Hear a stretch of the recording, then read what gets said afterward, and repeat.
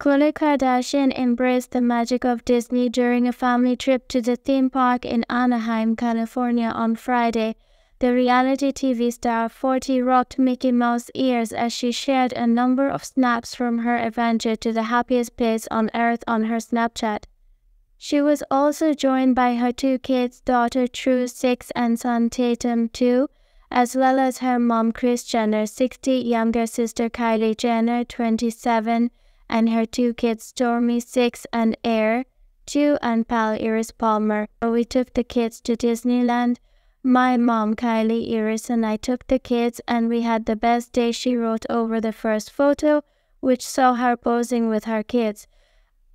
Another image saw Khloe and True enjoying the ride together with the Good American founder rocking a black t-shirt and black shorts with white socks and sneakers.